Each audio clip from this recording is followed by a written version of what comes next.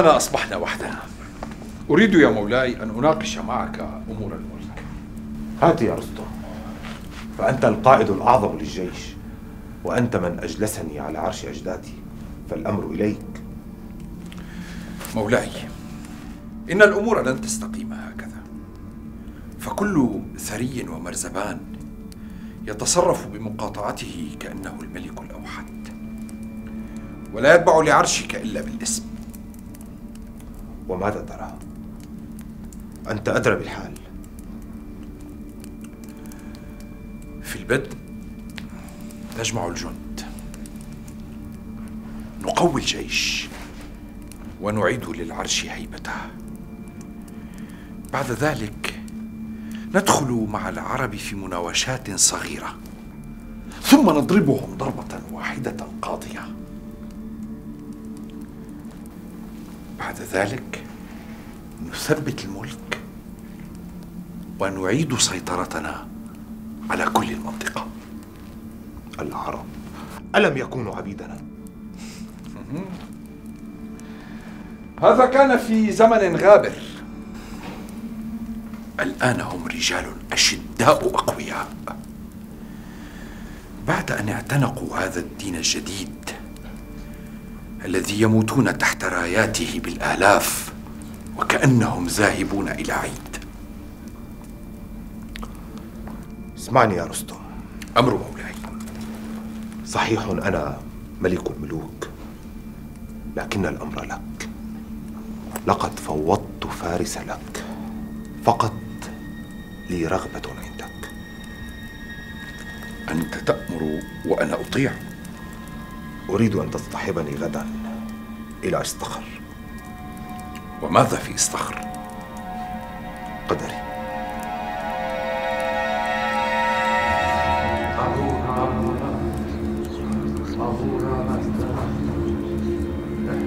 شعبك احمي مملكتك أهورا مسجد أهورا مسجد احمي شعبك احمي مملكتك احمي عرش أساسك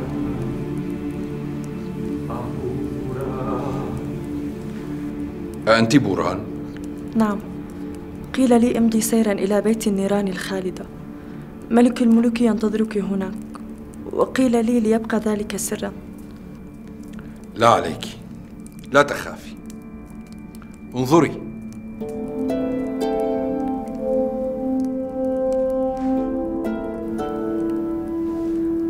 سادين النار ألم أقل لك أنت قدري؟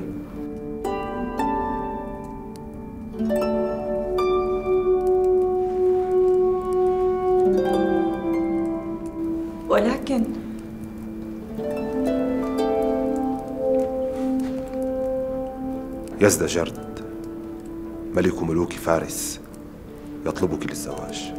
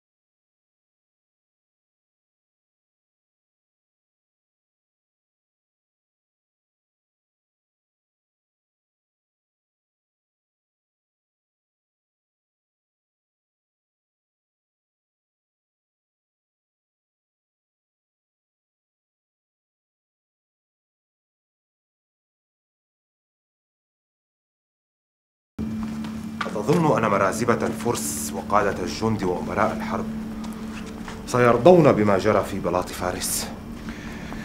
يا مولاي أنت في ليلة فرحك فدع الأمر لي. تكلم يا رستم تكلم. مولاي إن المرازبة والقادة يدركون الحال الذي وصلت إليه إمبراطوريتهم. ويعرفون المآل الذي آل إليه بلاط ملكهم. وبعد مضي خمس سنوات من التخبط وقتل الملوك أصبحوا أميل إلى القبول والمطاوعة. لذلك يا مولاي أرجو أن تنصت إلي. إنني منصت إليك يا رستم فأنت من أجلسني على هذا العرش ولا أقول ذلك تملقا. إنما ليعرف كل منا موقعه. فأنا أعرف أنك أعظم قادة الفرس وأكثرهم جندا وأحبهم إلى الفرسان والمرازبة وأنا ملك الملوك سليل أبرويز ولا تصلح فارس إلا بصلاح ملوكها. وكل ما أرجوه منك أن تكون لي كما أكون لك فنصلح الدولة معا. مولاي لو لم أكن صادقا مخلصا لما بحثت عنك في كل مكان. وعندما علمت أنك موجود في بيت العبادة في إصطخر ذهبت إلى هناك فورا. حينها شعرت كأنني التقيت بقدر بلاد فارس. ذاك القدر الذي ضاع عندما هزمنا الروم. وأنا أعرف حق المعرفة بطبيعة الحال أن هذه البلاد لا يكون صلاحها إلا بصلاح ملوكها. فقد تصرف المرازبة والقادة كل في إيالته كأنه ملك. فدعهم الآن بما هم فيه حتى نقوى وتأتلف القلوب ونثبت أركان العرش. بعدها من آب للطاعة قبلناه ومن سدر في غيه قتلناه.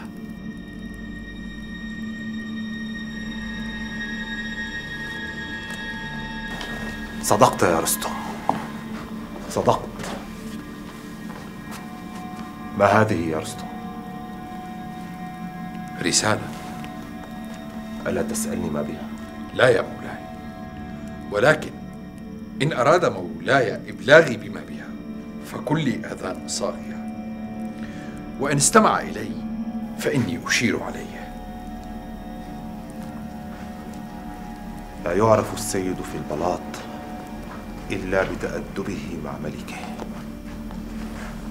وأنت تعرف كما أنا أعرف جيدا أنك أقوى مني في فارس لكنك سيد عظيم يا رستم وتعرف قدر الملوك.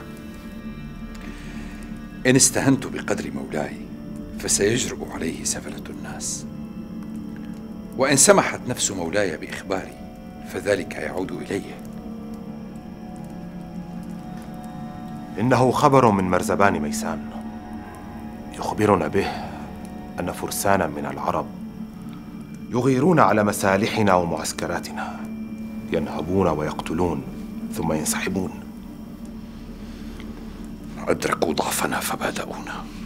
وما كانوا ليجرؤوا على الدخول إلى بلادنا رعاة إلا بإذننا. أشر علي يا رستم أشر علي. يا مولاي إن العرب مشغولون بصراع ضار فيما بينهم فلا تلق بالا إليهم. وما إن نطمئن على العرش وتعود له هيبته حتى يعودوا إلى صحرائهم هاربين. وإن لم يفعلوا ضربناهم ضربة لا تقوم لهم قائمة بعدها. والآن ماذا نفعل؟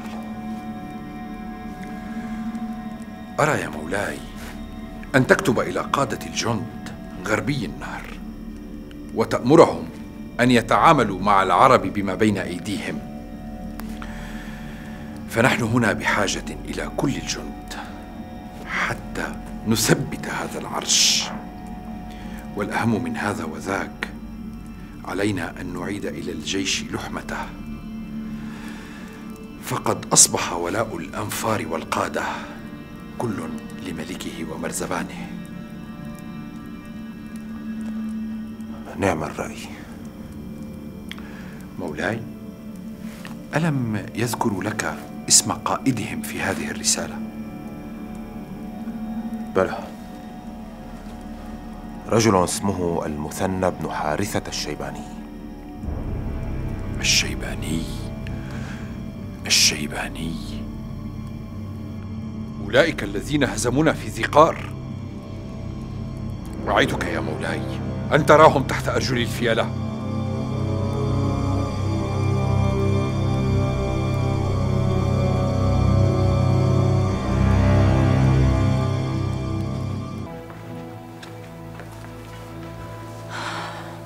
إنهم العرب إذا.